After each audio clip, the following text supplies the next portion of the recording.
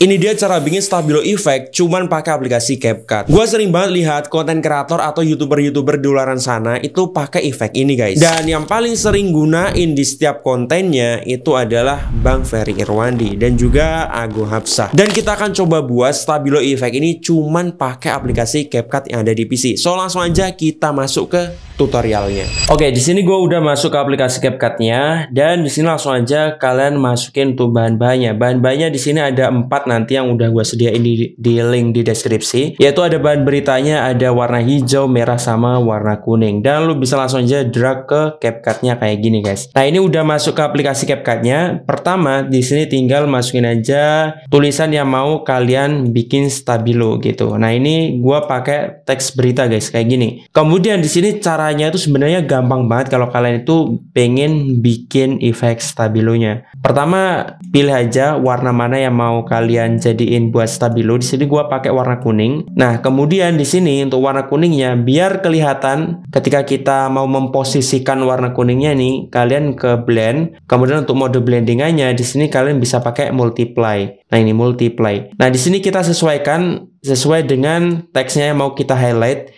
Misalkan yang mau kita highlight teksnya itu yang bagian PT ini ya. Nah, caranya tinggal kalian sesuaikan aja untuk shape-nya ini atau background-nya ini atau efek stabilonya ini sesuai dengan panjangnya tulisan. Nah, misalkan panjangnya segini. Nah, selanjutnya di sini biar lebih pas lagi, kalian ke bagian mas di bagian sini. Di sini kan ada mas kan di video, kemudian di mas. Nah, di sini kalian pilih aja yang bagian rectangle ini. Nah, kalian pilih yang rectangle ini Kalian posisikan, ini kan ada garis kan, ada dua garis, satu vertikal, satu horizontal. Nah, yang horizontal pastikan di bagian tengah kayak gini, bagian tengah tulisannya kayak gini. Nah, ini kalian geser ke bagian sini, bagian paling kiri, kemudian kalian perkecil aja kayak gini untuk shape-nya. Kalian masking kayak gini. Oke, kemudian di bagian mas ini kan ada banyak sekali tool kan. Nah, kalian pilih pada bagian size ini. Di size ini ada keyframe-nya. Kalian klik keyframe-nya ya. Di kita tambahkan keyframe di bagian awal, kita maju beberapa detik, kita tambahkan keyframe lagi yang bagian size ini ya guys ya. Nah, kemudian yang keyframe terakhir kalian panjangin untuk efek ininya, untuk maskingannya kalian panjangin. Kurang lebih kayak gini. Kemudian kita ke bagian awal lagi, kita ke keyframe bagian awal. Nah, di bagian sini kita pendekin untuk maskingannya sampai hilang. Nah, kayak gini. Dan ini sebenarnya udah jadi guys. Udah jadi buat efek stabilonya jadinya kayak gini.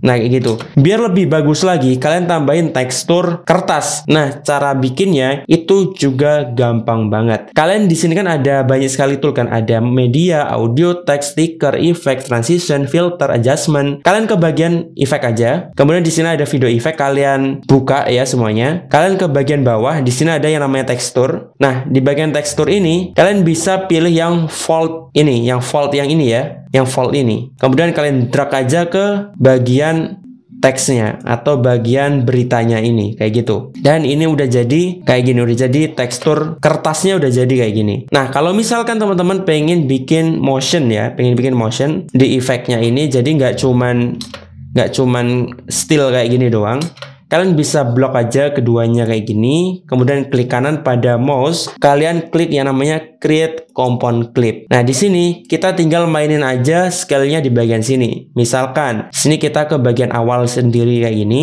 kemudian kita klik keyframe ya, kita bikin keyframe awal, lalu kita ke bagian misalkan bagian akhir ya. Kita klik lagi keyframe, kita scale sampai kurang lebih segini lah ya, 115 misalkan. Dan ini udah jadi guys.